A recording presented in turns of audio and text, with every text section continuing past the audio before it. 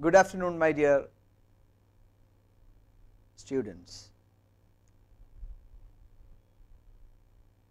Today we shall be discussing the Hindu daily dated November 12.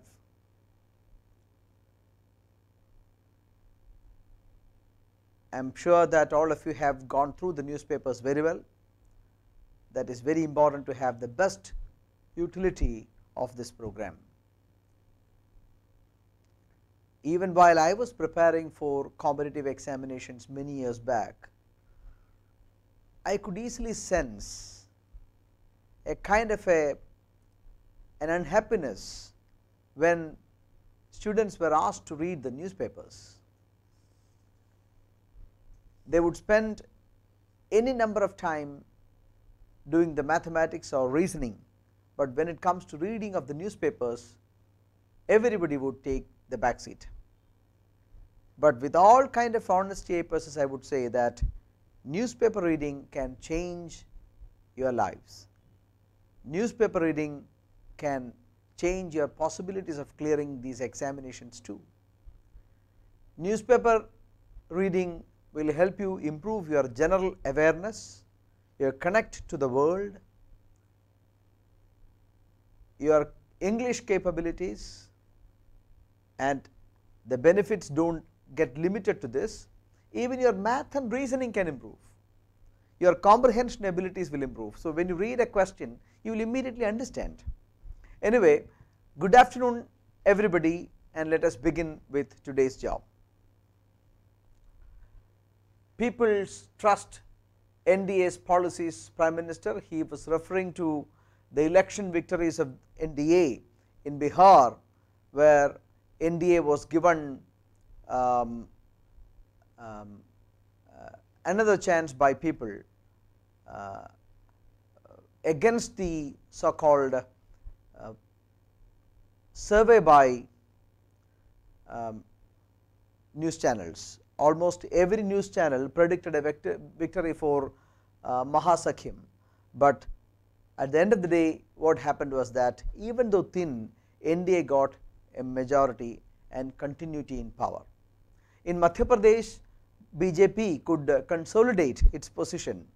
It snatched power from the Congress, but in the by elections BJP got a clear victory and now their governance is uh, government is safe for the rest part of uh, the government, government's tenure. Very important news government to govern OTT platforms. What is this OTT? Over the top. So, we know that there are plenty of uh, uh, digital uh, channels now like Netflix, Amazon Prime etc. There are almost 8 or 8 to 12 such channels in India, but there is no regulator in place in India so far. I am sorry.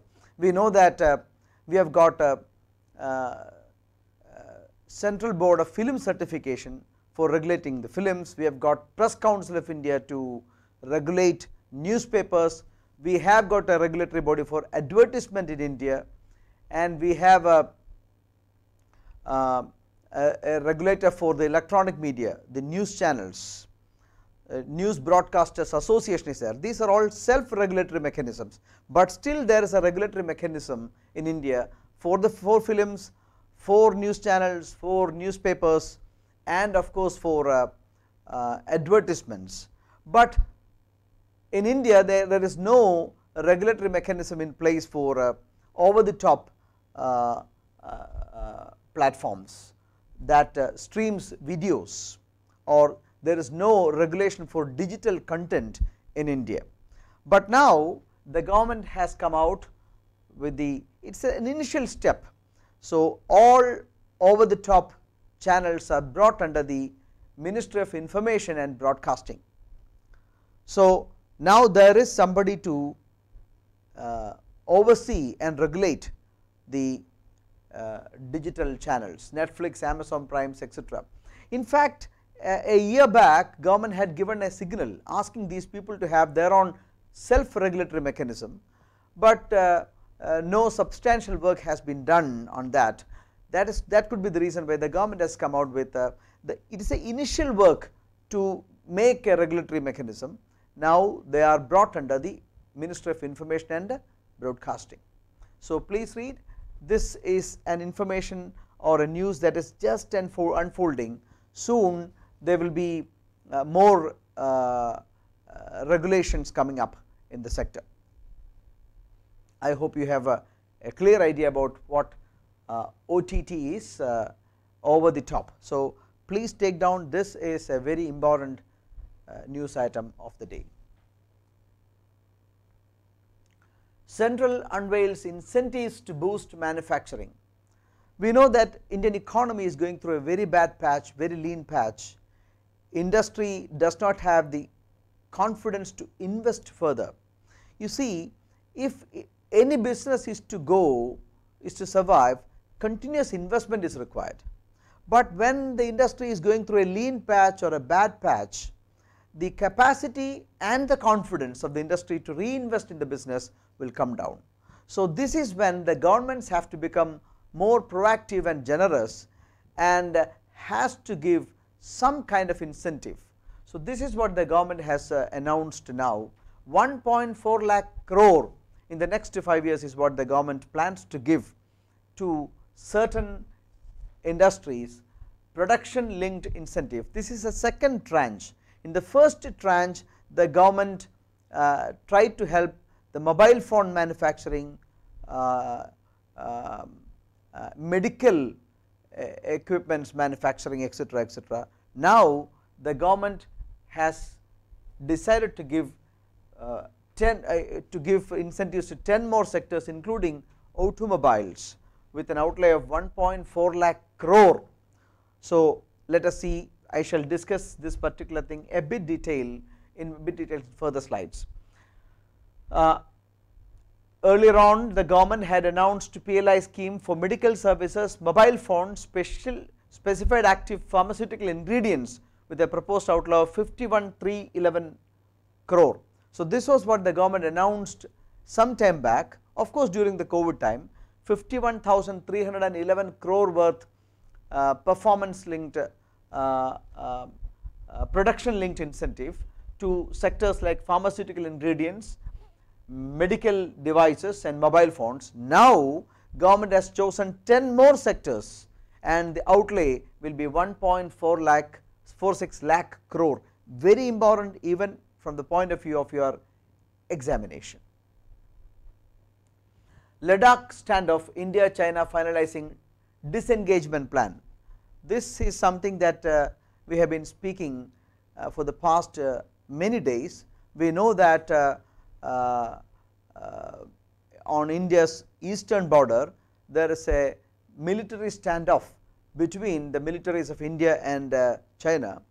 Ever since the Chinese war of 1960s we lost 20 soldiers we lost 20 soldiers uh, in the Chinese. We thought that uh, Pakistan is the traditional uh, um, um, uh, enemy of this country, but China, China has got uh, uh, expansionist ambitions and China has always failed to recognize some parts of Indian territory as that as the sovereign territories of India. Traditionally, there were Ladakh, Sikkim and Arunachal Pradesh. Arunachal Pradesh and Ladakh in these two places China even now makes claim. Sikkim officially was uh, made China has recognized Sikkim as a part of China, a part, part of India. And that happened only during the 2000s very a few years back. Finally China accepted Sikkim as an integral part of India a sovereign part of India, but still now China has not accepted a, some parts of Ladakh and Arunachal Pradesh an Indian state as the part of India. Arunachal Pradesh they say that it is southern Tibet, Tibet we know is a part of China and some parts of, uh, uh, of uh, Ladakh. So, recently Chinese army made incursions into a few provinces uh, in um, Ladakh Last 2 years back they made incursions into Doklam a place in Arunachal Pradesh. So, now uh, uh, Indian army has also re retaliated and now finally the commanders level meeting uh, um, have decided that there will be disengagement meaning armies will be moving away from line of actual controls control to uh, specified positions. So, let us see what is happening uh, what is going to happen. So, the entire nation is uh, looking at it with uh, curiosity. Weak at the top this center, this uh, editorial of the Hindu was referring to um, uh, the NDA's uh, government in Bihar. We know that uh, uh, Nitish, Mr. Nitish Kumar has been elected the chief minister of uh, uh, Bihar for the fourth consecutive time.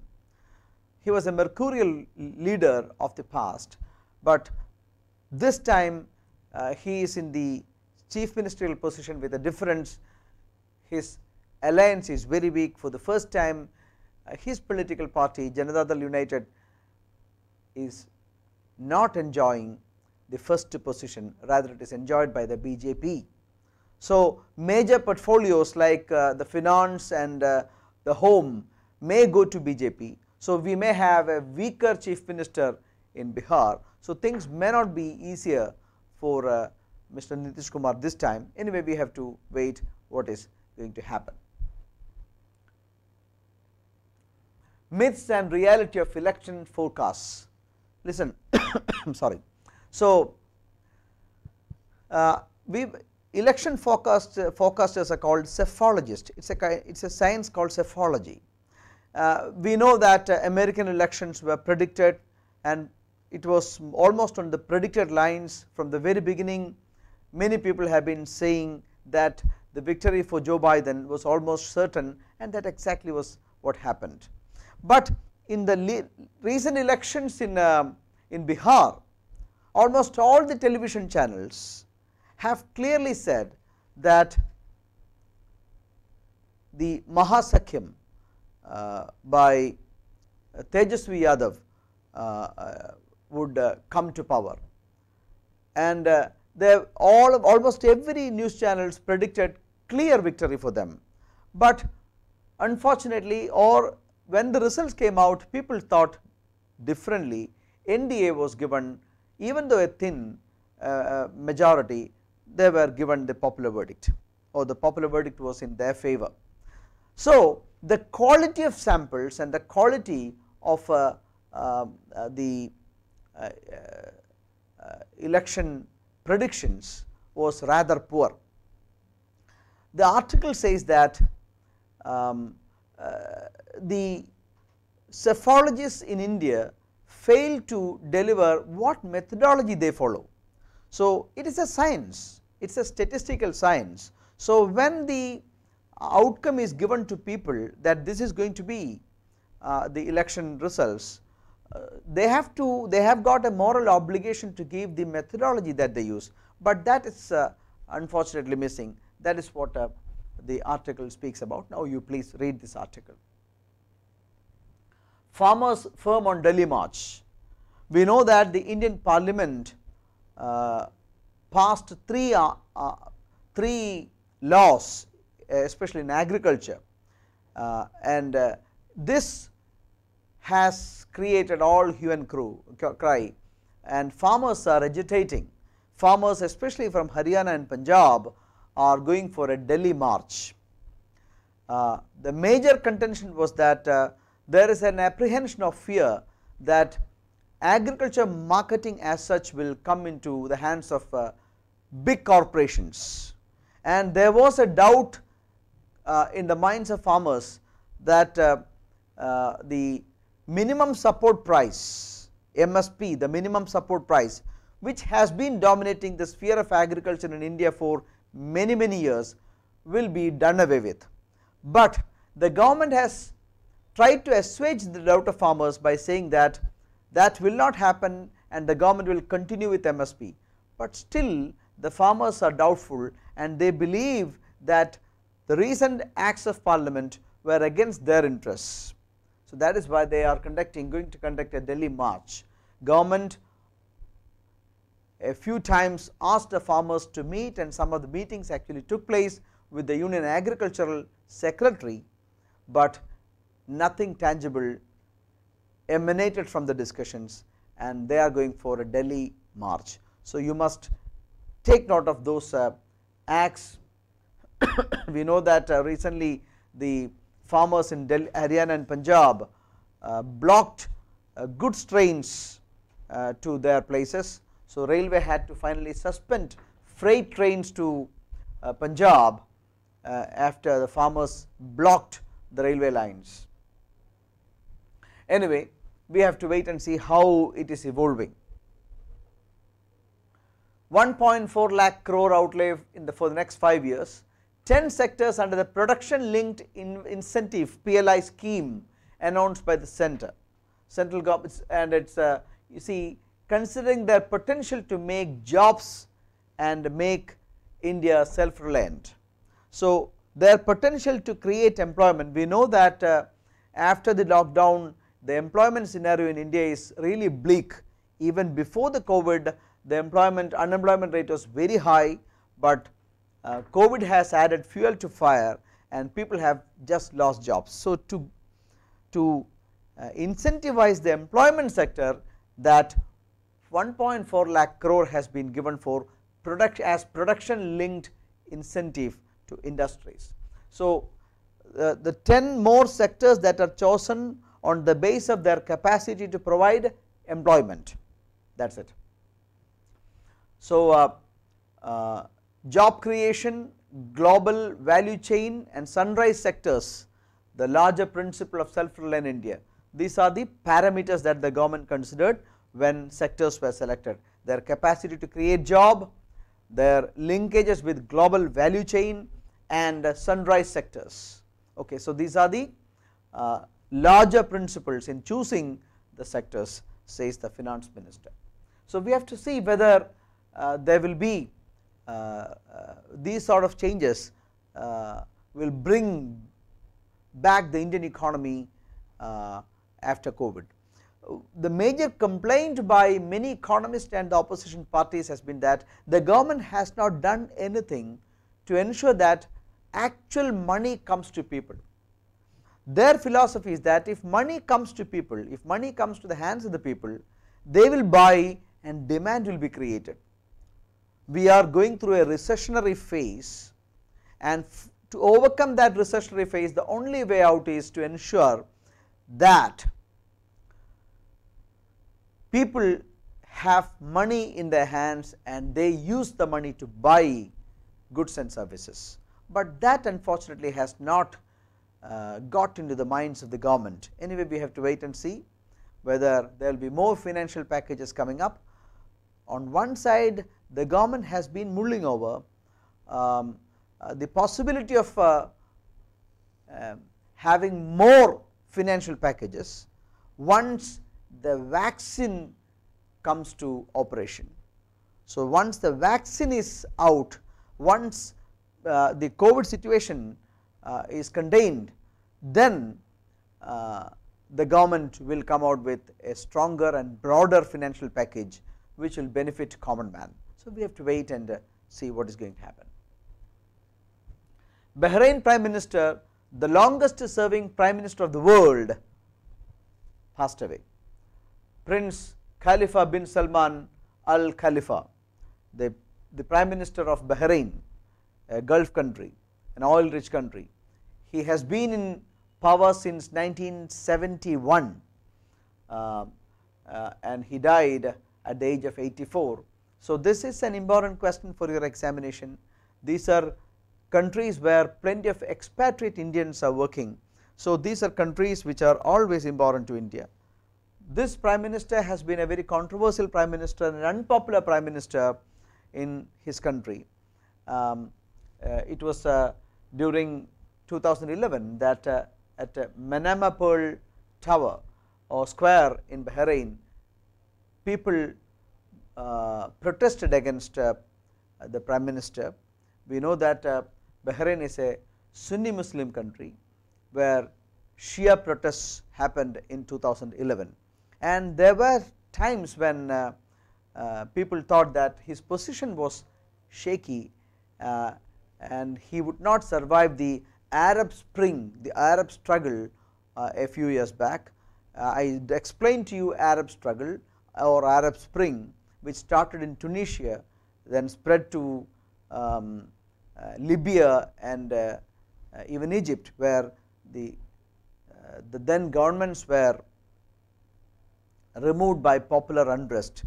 Libya in Libya Colonel Gaddafi who had been ruling the country for 48 years lost his power and he was killed by people and Hosni Mubarak uh, the popular president of, uh, of uh, uh Egypt who had been preparing for his seventh term presidency was uh, thrown out of power and was even jailed. So, at that time uh, Bahrain's position monarchical position was also a bit shaky and uh, there was suspicion that the Arab Spring revolts will spread to Gulf countries too, but anyway he survived. Uh, okay. So, this is about uh, the longest serving prime minister of the world, the king of uh, uh, uh, the, the, the, the Bahrain's prince Khalifa bin Salman al Khalifa. Very important, take note this is going to come for your exam. Myanmar's opposition rejects unfair election. We know that I am sorry elections were conducted in Myanmar.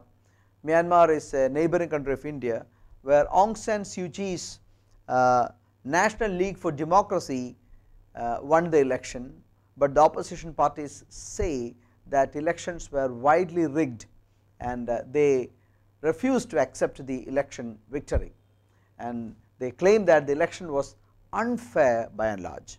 So, elections in a neighboring country of India is always an important thing for anybody who prepares for competitive exams. So, in the exams to come we have to take a note of uh, the elections in Myanmar. What is the capital of Myanmar? Yangon. What is the political party's name? The National League for Democracy and its leader is the Nobel laureate Aung San Suu Kyi. Hong Kong disqualifies four pro-democracy lawmakers. Listen, I shall briefly tell you about Hong Kong. Hong Kong was a former British colony. It was in 1997 that the British government under the premiership of John Major decided to hand over um, Hong Kong back to China. Ch Hong Kong was originally a Chinese province.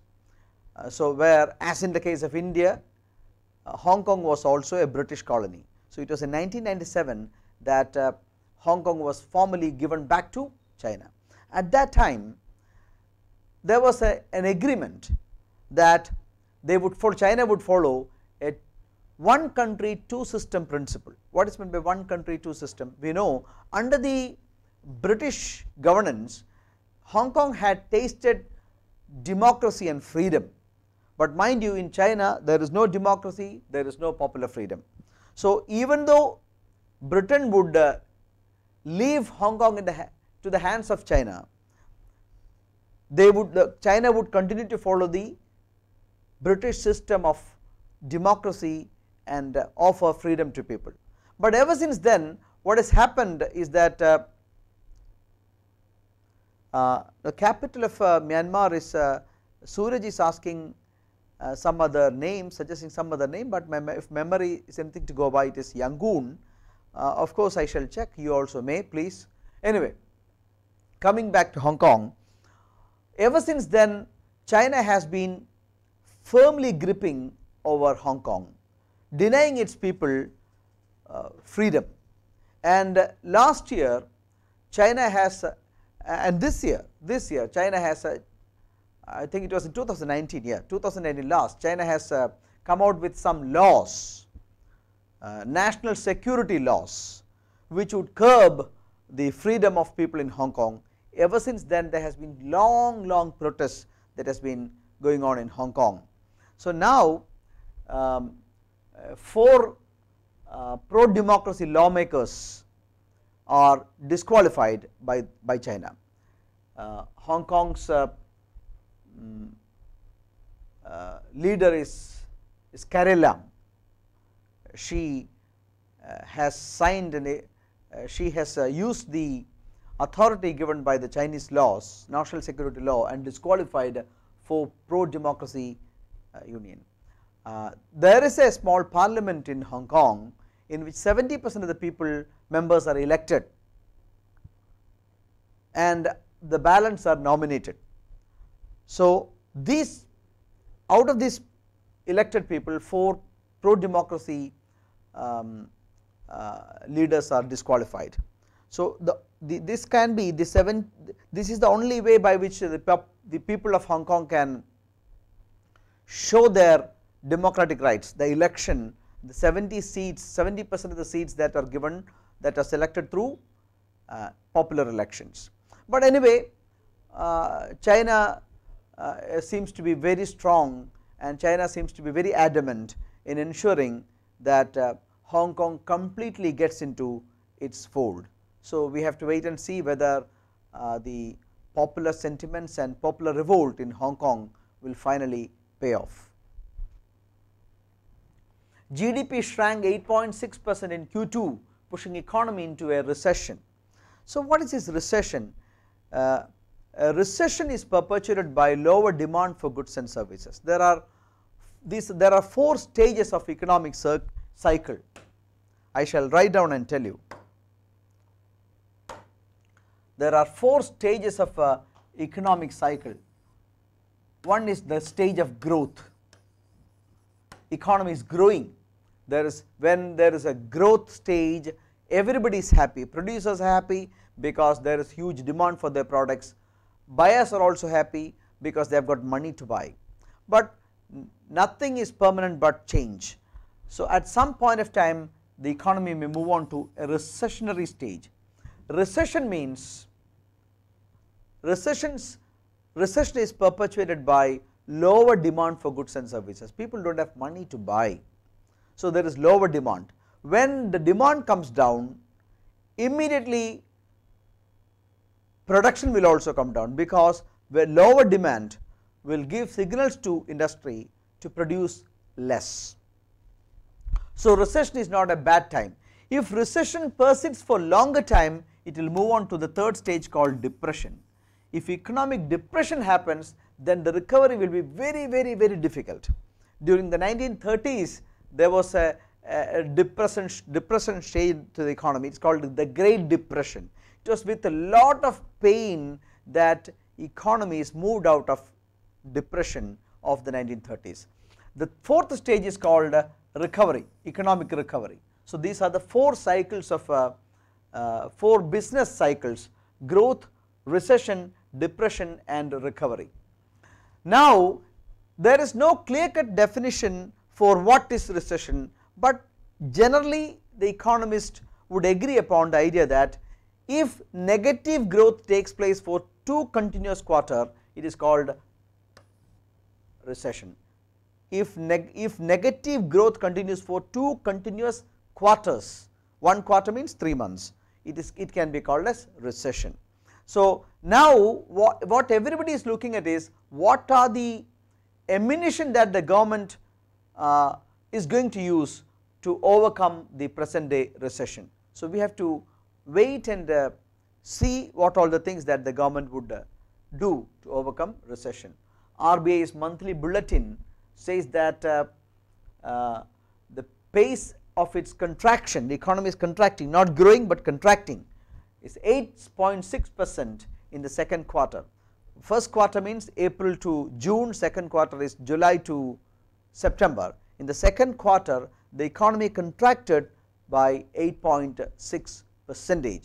So, we have to wait and see what the government uh, is going to do to overcome the recessionary trend in the economy.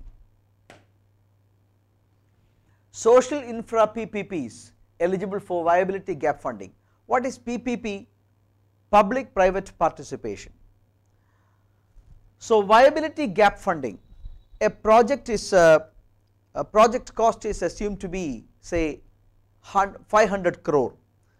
So, uh, but the they are not able to find out um, Okay, uh, Vandana Shekhars, yes sir, when I checked Google capital of Myanmar is, uh, uh, I am not able to read the name. Anyway, um, uh, I, what my mind says is that the original name of uh, the capital of Burma, at that time it was not Myanmar but it was Burma, it was Rangoon. And for many years military junta ruled Myanmar and they changed the name to Yangon uh, and uh, by throwing them out that Aung San Suu Kyi's National League for Democracy came to power, but anyway it could be um, the new capital they might have changed the name anyway I shall check good good that you pointed it out. So, social infra PPP is eligible for viability gap funding. So, if the project cost is 500 crore and if for such projects uh, the, the promoters are not able to find uh, enough funds, there comes the merit of viability gap funding. So, the government or a consortium of government and uh, other agencies will provide that balance fund that is what is called viability gap funding. So, viability gap funding social infra projects are also eligible for viability gap funding in um, um, uh, and government has allotted 2100 crore for viability gap funding. This is also going to be very very important. Under the new schemes private sector projects in areas like waste treat, wastewater treatment, solid waste management, health, water supply and education could get 30 percent of the total project cost from the center. So, the government will provide 30 percent of the total project cost as viability gap funding very important news item. 5 lakh bank staff to receive 15 percent increment. There is a bipartite settlement uh, which is valid for 5 years. Every 5 years bank employees as well as offices unions will negotiate with the Indian Bank Association to fix uh, the uh, salary prospects of the employees and officers for the next 5 years. So, the latest uh, bipartite settlement uh, uh, in the latest bipartite settlement 15 percent increase has been provided. Unions have been trying for a 5 day week which the IBA did not agree. So, they said that they would provide a 15 percentage increase this will uh, uh, um, increase the salary of 5 lakh employees in 29 participant organizations participant banks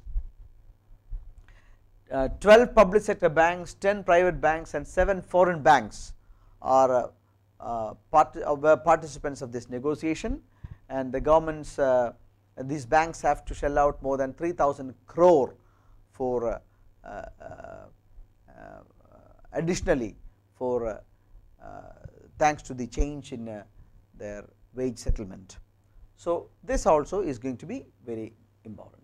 Amazon accuses Future of insider trading. So, what is this insider trading? There is a thing called privileged information.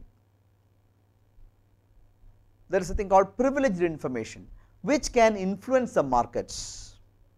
Suppose I am the uh, uh, a very important member of the director board of a company, a listed company and I come to know uh, this information is private to me only I know very few people of my kind uh, uh, know about this information that my company is not going to do well when the financial results are out.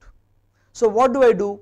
I will leak out this information to influence the market in a particular way. This is what is called uh, insider uh, trading. Insider trading is leaking out the information private to you or the privileged information is leaked out to influence the market in a, in a particular fashion. So, insider trading is not a fair market practice and it is illegal. So, now Amazon has accused futures for insider trading. Futures were bought by Reliance Industries.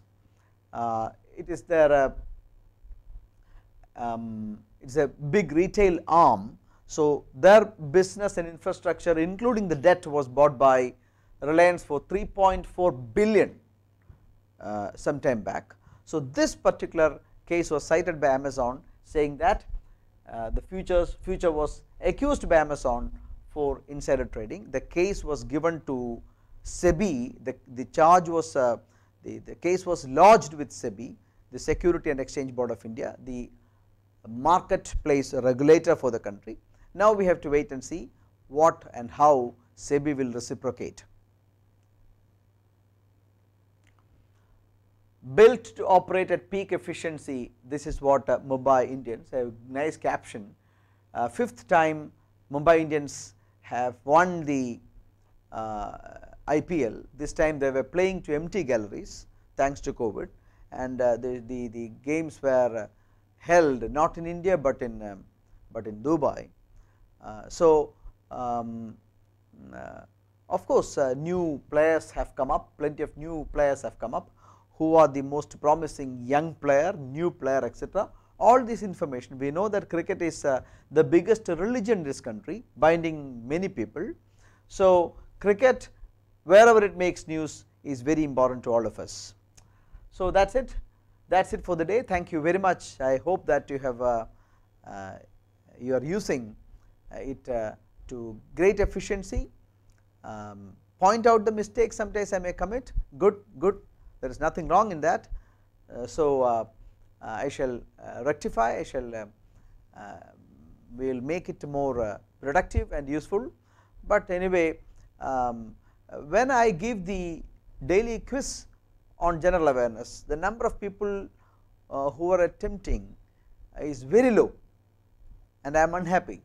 I am dreaming of a situation where everybody is attempting and uh, the number of attempts becomes um, uh, a figure in thousands. So, that is what I look forward to.